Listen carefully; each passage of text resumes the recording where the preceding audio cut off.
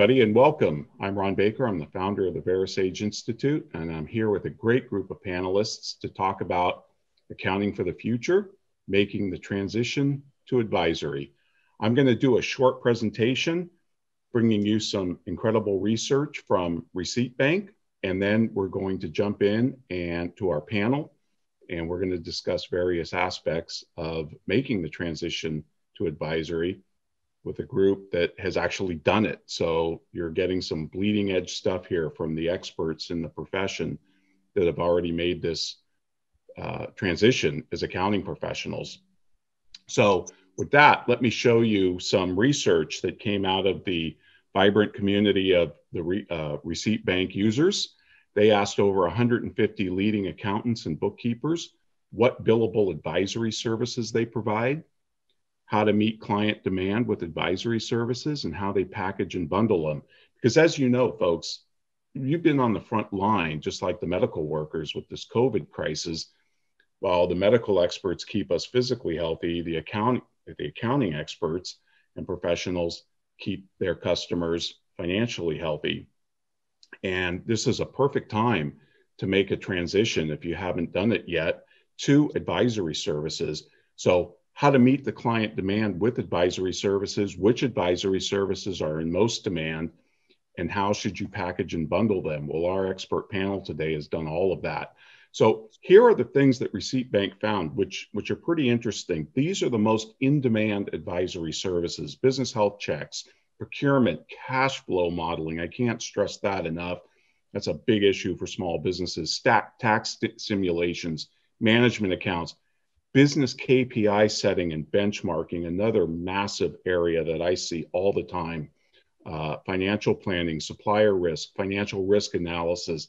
You could even add more to this. Um, uh, cybersecurity would be another one that I see massive demand for among accounting professionals, customers.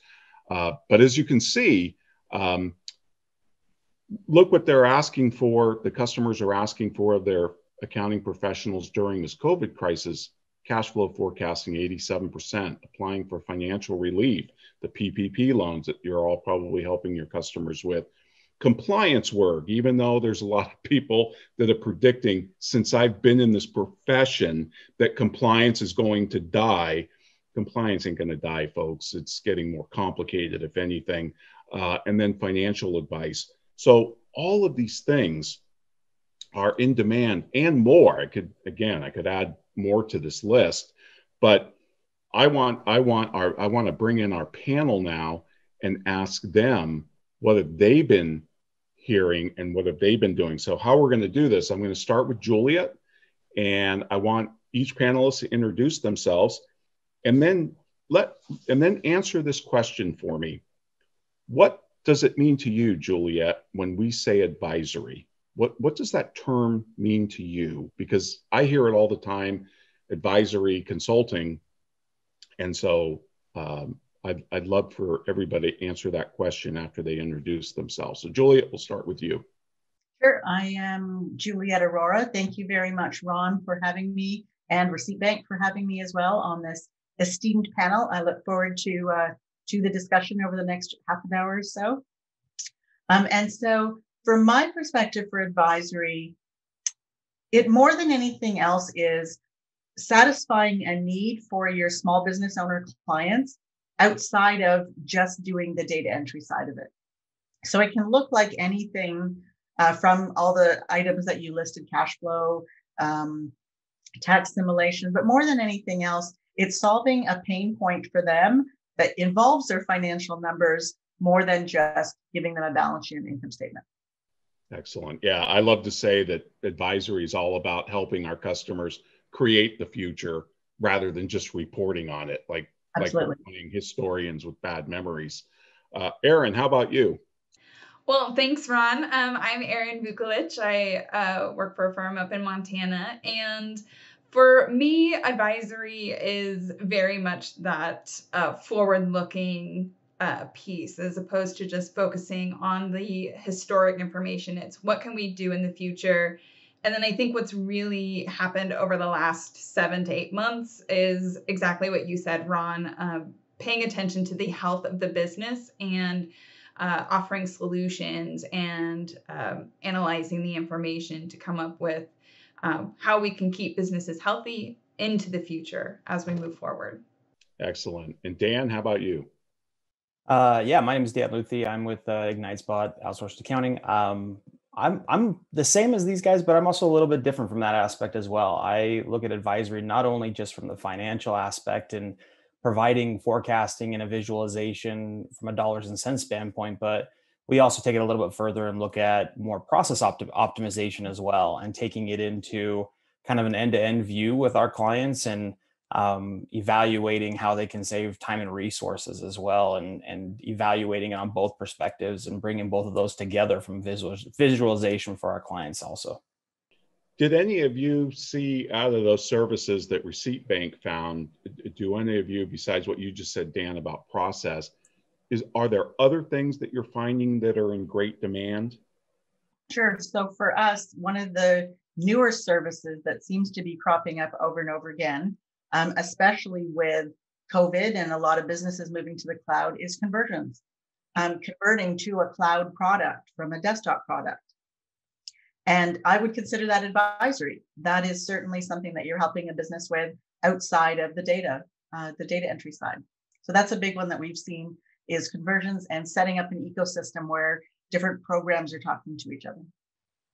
Yeah, I think just to add along with what Juliet was saying there, um, a lot of clients are that we're seeing are coming in from having people who are have been stuck in an office for a long period of time who aren't used to utilizing apps or utilizing utilizing an ecosystem in any way shape or form and you're helping them to transition in that space or move over into setting up a structure and uh, helping them to, to transition mentally into that piece. And so you're you're not only looking at apps but you're also looking at um, an infrastructure that's outside of those pieces but also looking at how all this is going to help them geographically, but also helping their growth forecast as well from that piece. Um, sometimes it's looking at market structure for their organization and looking at how that potentially impacts them as they're looking for their growth. And so, um, all of those things I think uh, tie heavily into our involvement with client relationships as well.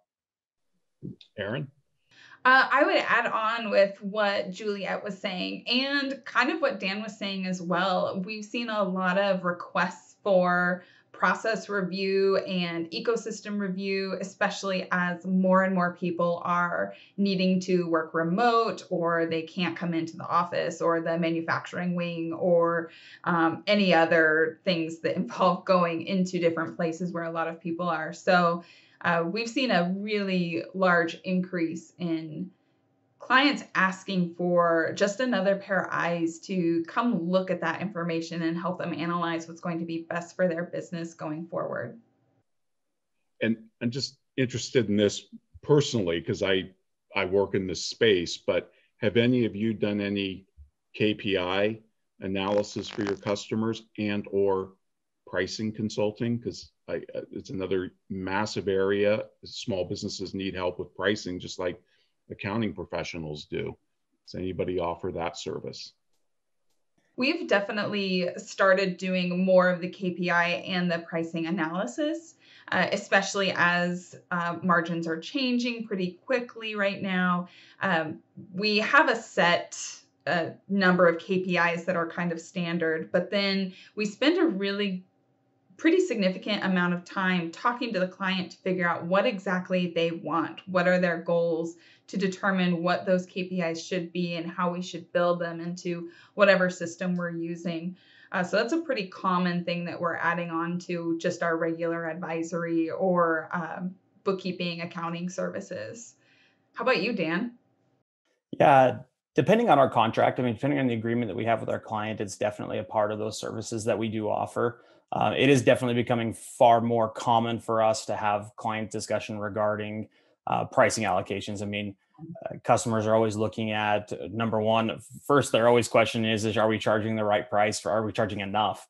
Um, last week, I just had a conversation with a, a customer who was trying to determine uh, how to give raises to some of their employees and and we had to have that deep discussion regarding their price as it compared to their cost of goods sold and and that was a it was a very concerning conversation when we showed them the valuation that as it showed through it and the detail as it as it uh, as it related to the overall cost segregation as it related to each individual job that was going along with it and as the market tied back to that from the evolution that's been going on specifically over the last six months within their space um, really was eye-opening to that customer specifically and so being able to have those conversations and to dive deeper into those those spaces with those individual clients is um, is very eye opening also for us, but also um, for clients when you get to interact with them and be able to uh, to transition, especially for clients who are used to um, not looking at that as often as they should.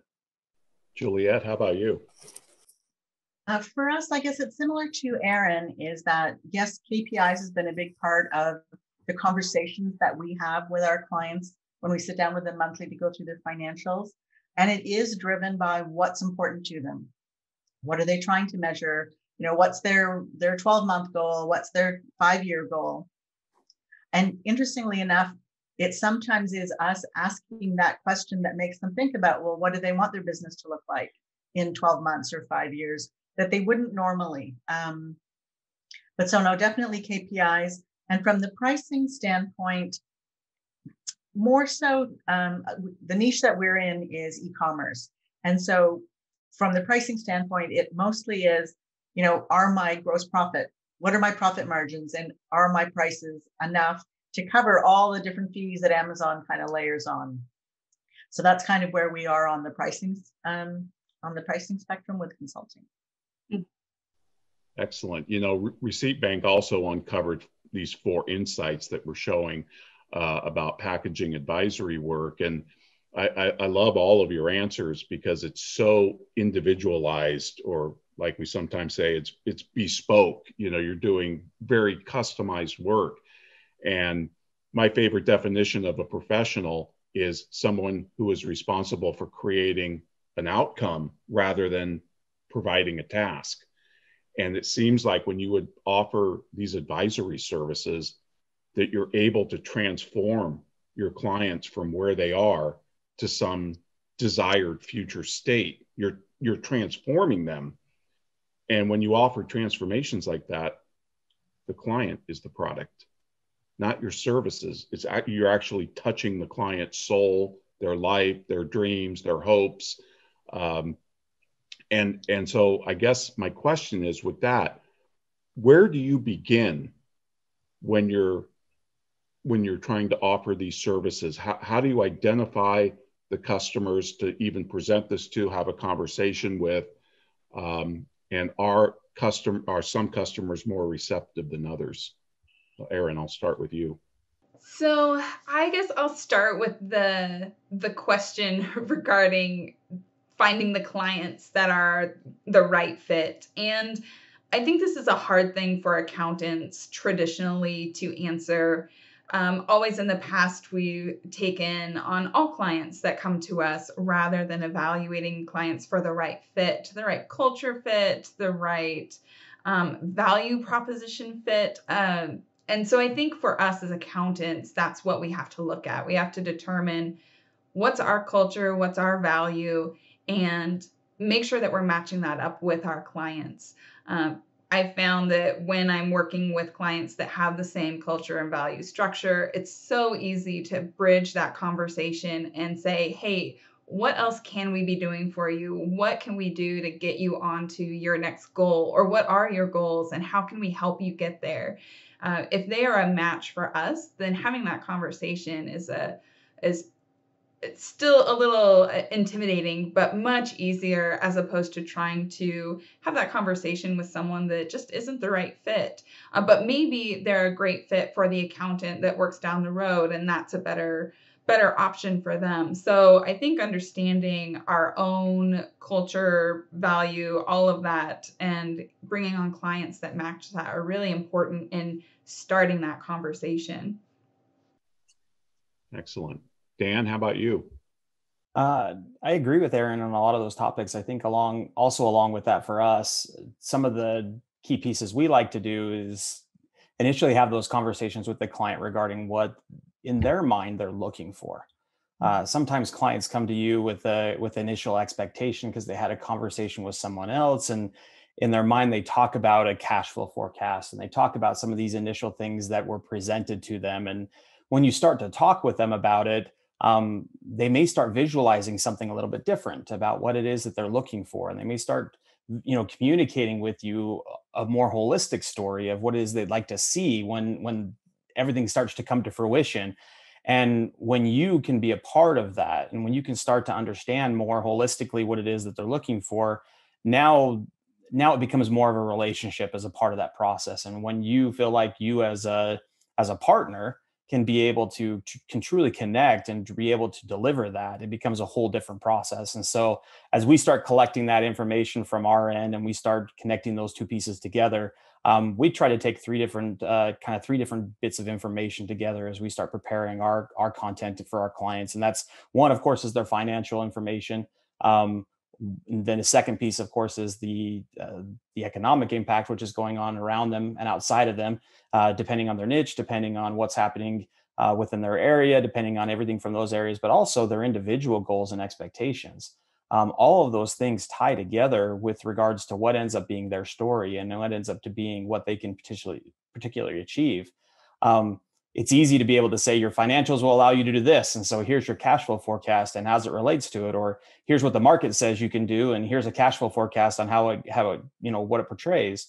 But if you don't tie all three of those together and communicate that story with them from that initial interaction you're not going to be able to really portray and help them to be able to achieve actually what they're looking for and help them to be able to advance that beyond into not just providing that cash flow forecast in the beginning but into further projects which maybe end up doing a you know a cost analysis and and diving into all the other services that you can potentially provide. And so uh, by providing that deep relationship investment that really is where you become a part of their team uh, much like I think you know Ron, you mentioned in the beginning, and when you were talking about this, you were talking about you become invested in who they are, you become invested in what they become, and now you become a partner in their strategy, you become a partner in their success, and those two things together become welded welded together in in really working towards their ultimate goal which is achieving their future whether it's to exit their business or to their retirement to where they ultimately sell off or pass it on to their children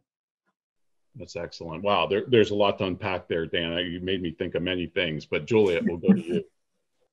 well, I'm not sure I can follow up anything or add anything onto Dan's uh, extensive list there. Um, I guess for to, to answer your question about how we find those clients, I think more than anything, it's your messaging that you're putting out into the world um, on your website. If you're networking, you have referral partners, and and I think it is. Um, where you're not just talking about the compliance piece and you're talking. So for us, for example, we talk about providing them real time financials that can help them make better business decisions. As opposed to saying we can help you file your tax return, it's we can actually, we want to help you make better business decisions. And so, right off the bat, you are setting the expectation that we're doing this work because we want to help you make better business decisions. So, what information do you need that's going to help you do that. And that's where we want to come in. So it's i think for me for us it starts with the messaging right from the beginning that you're putting out um, to attract the clients. I, I love that juliet just one thing to add on the end of it like to your comment it's also adding on it that piece of i noticed this when i was doing a review of your tax return or i noticed this. Do you mind if we take 10 minutes to talk about this further like those little tidbits like change the whole dynamics of a conversation with the client because now they feel like your value just i mean all of a sudden it's not just a transactional relationship anymore it's we're diving into it we're investing into you we want to make this more in what we're trying to provide to you. And i think that most people who um, are are venturing into the advisory or adding advisory and want to be able to add that extra piece um, in their services tend to do diagnostics up front. And then because you're doing the diagnostics up front, it allows you to have those conversations that Dan is talking about. And then Juliet, you you mentioned that you were niched in e-commerce. Yes. Is, is that is that like an exclusive niche for your firm? Is that the only type of customer you go you go after? No, um, no, we have more than one, and we're Canadian, so it's niche, not niche. Right, um, right. I understand. Yeah.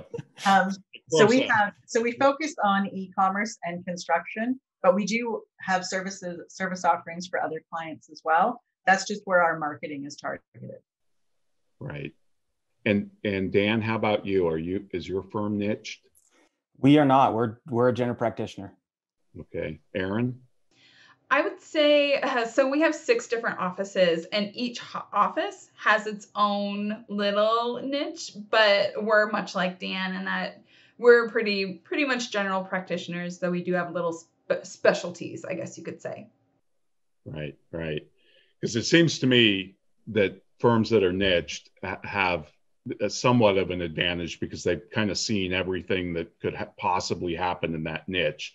You know, growth, selling bringing in extra partners, whatever it might be.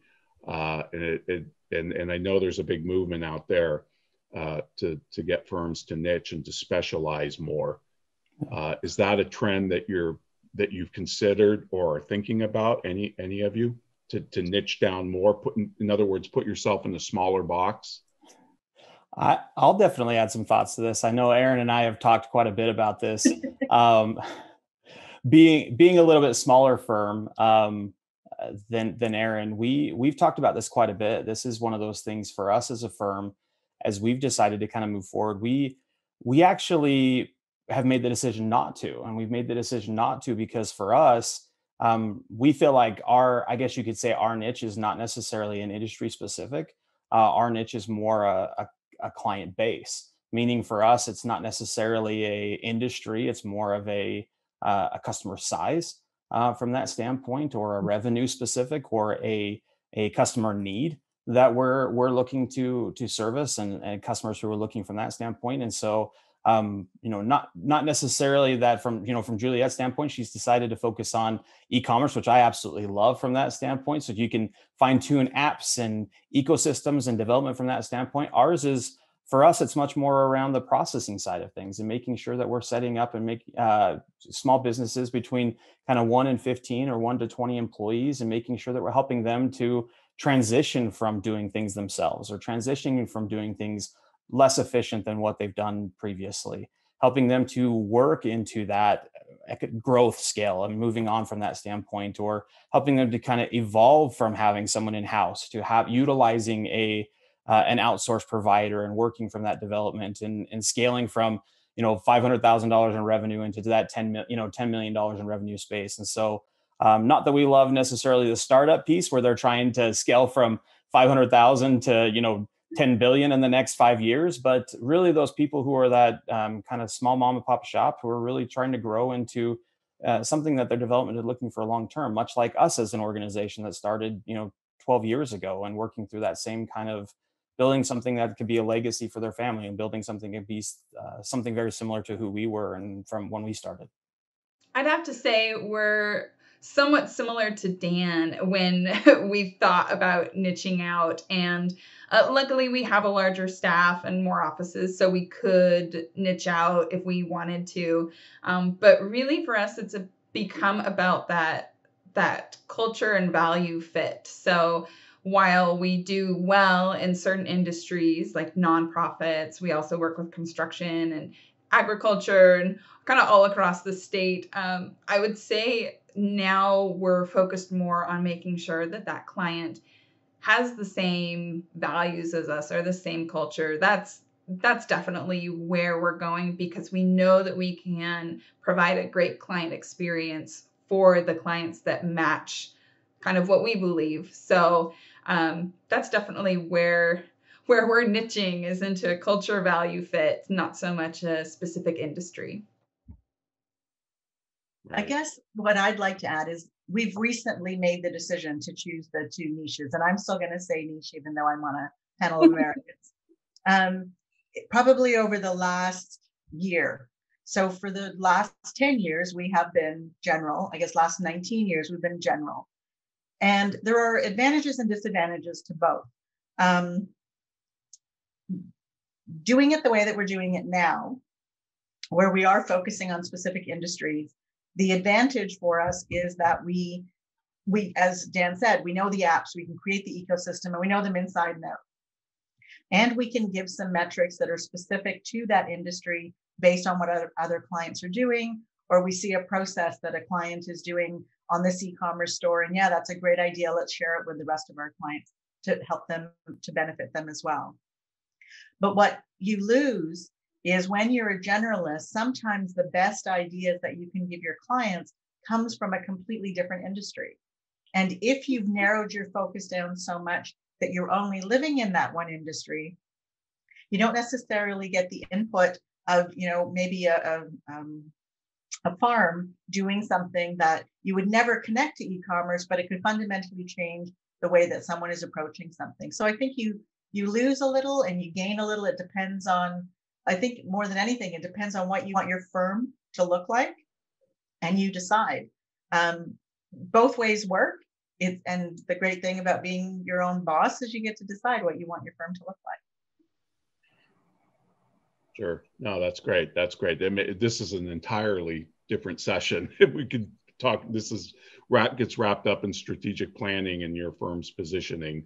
Um, but I also want to ask all of you, how do you go about marketing these services? And and let me add, since pricing is one of the four P's of marketing, how do you price these services?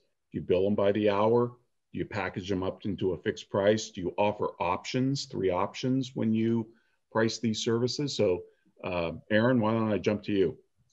So, I would say we are in a bit of a uh, some we're having some growing pains as a firm.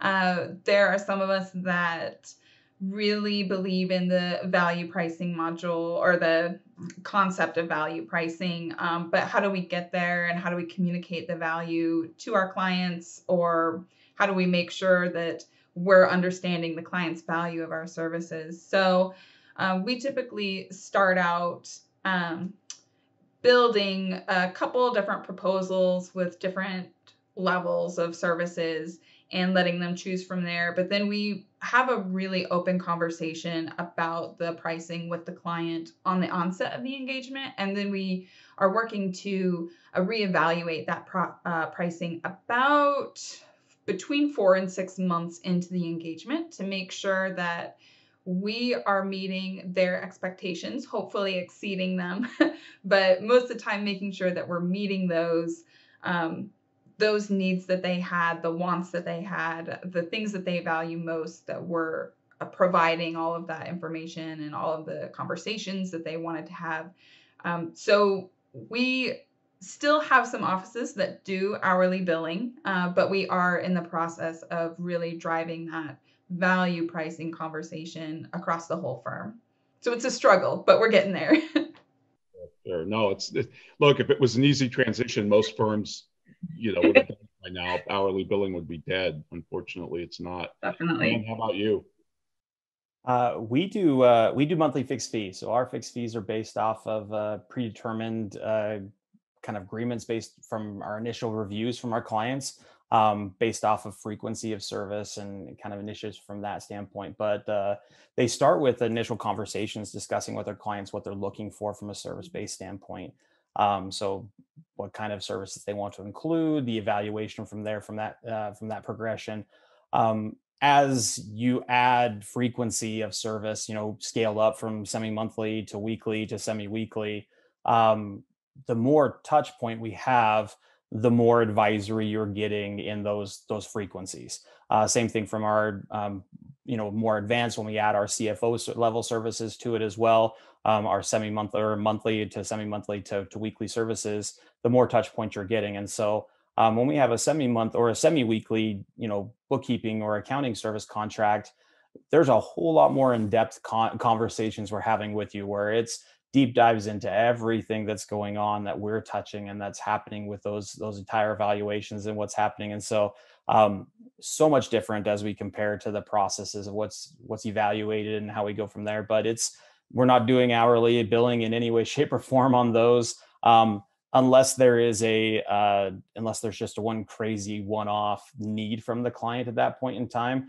um, where periodically we'll do an hourly contract with them but in most cases it is uh, us determining what we kind of feel like it's worth um, to that client and the need from that standpoint and where we feel like our value is. If it's something we've done before um, and we'll kind of determine that uh, we kind of feel like what it will take to us sometimes it's more of the kind of how much of a pain is it to, to take care of this or not um, in comparison. But uh, but in those cases all you know a lot of times we try to be we try to be very reasonable with our clients because we want our clients to stay long term. Our goal is not to to have fluctuating costs to our customers uh, we want them to be to have a consistent fee that's reasonable um, as they add services and as they they fluctuate over time we do then of course increase um, to to manage those pieces as we go with it. But uh, we do have fixed fees that are are value based as best we can.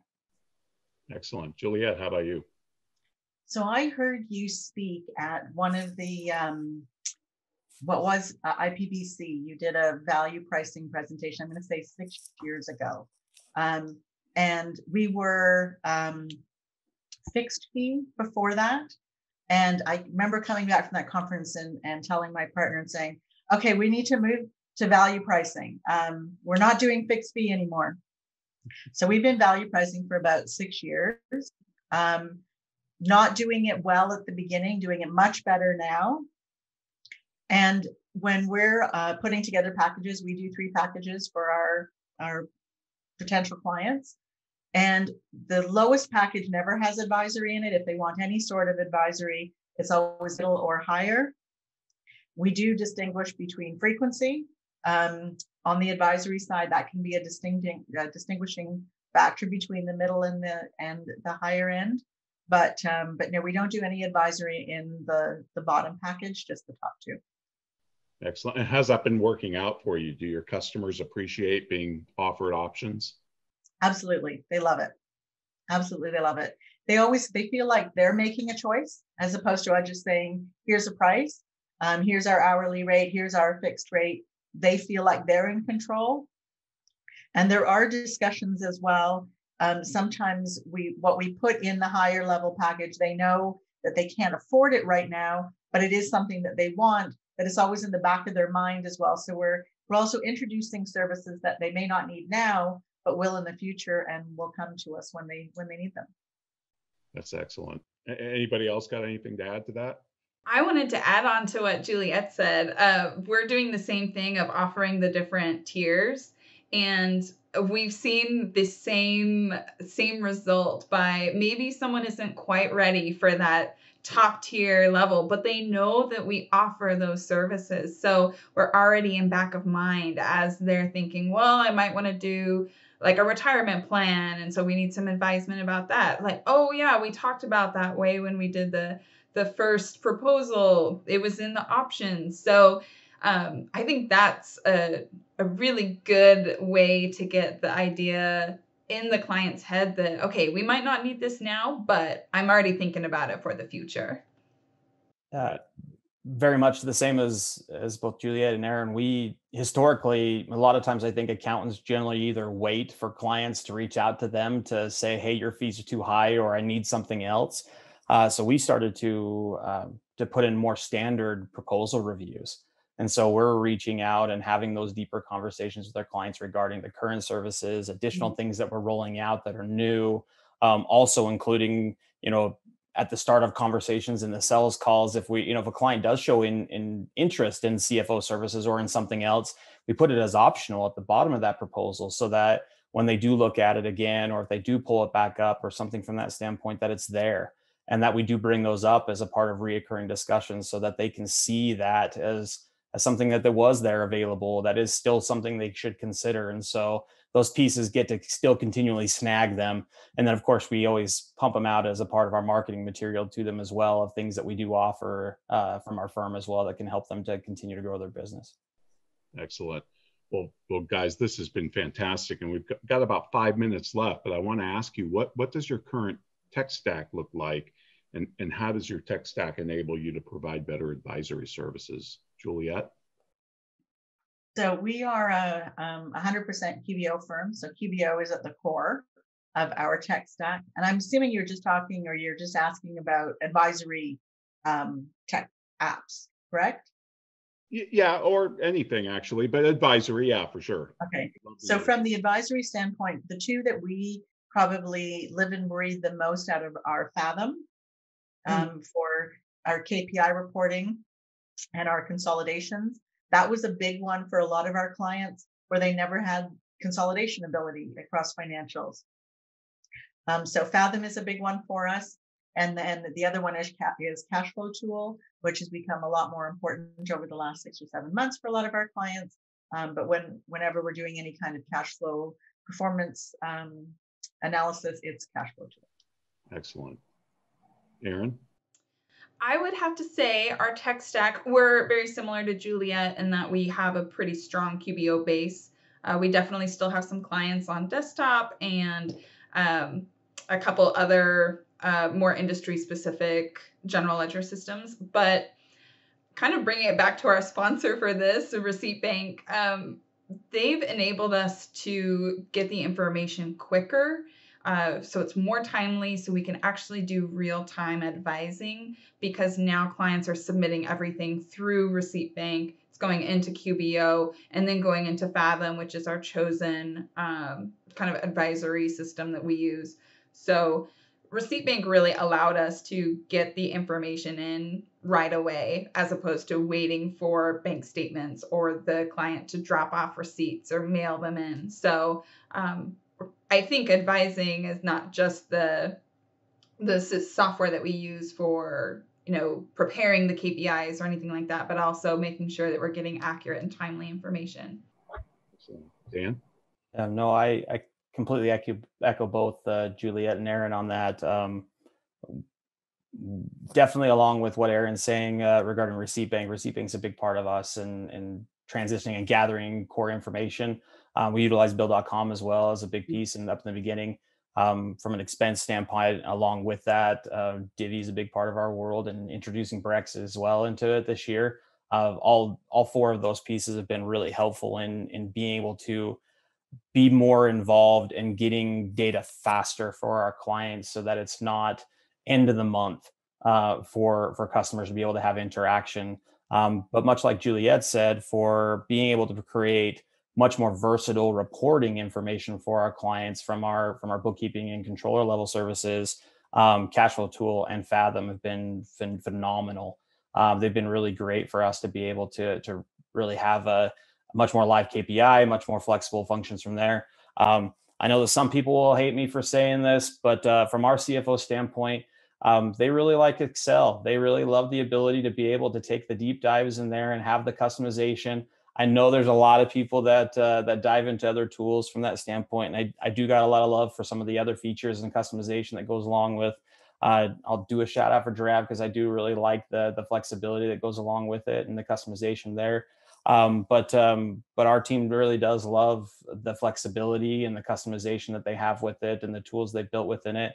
Um, just because it allows them to on the fly make those changes while they're meeting and, and going through with their clients and and going through that. But uh, um, but I think those are kind of the big pieces for us, and just being able to have that uh, have those lives. I mean, the dashboards and relationship that uh, you can create with a, a Fathom report and share that with a client is is really hard to beat right now. And I mean right now i'm really excited also for them to be re- rolling out cash flow tool or cash flow reporting which will be pretty cool uh, to be able to show that uh, pretty soon to our clients as well on a monthly basis too so that'll be uh, pretty unique excellent well i'd like to thank receipt bank for sponsoring this session and folks please check them out at receiptbank.com but we've only got a minute or so left i'm going to ask each and every one of you give me a one word response why you love receipt bank juliet game changing. that's that's big. Dan? Simplicity. Beautiful. Erin? course, you make me go last. Um, I would have to say ease of use with hyphens. well, that's awesome. Well, Juliet, Erin, Dan, thank you so much. This has been wonderful. You guys are at the, the leading edge of this uh, movement into advisory. I think it's the growth area and is definitely the future of the profession. Folks, that's about all the time we have for the panel discussion. Thank you so much for uh, joining us.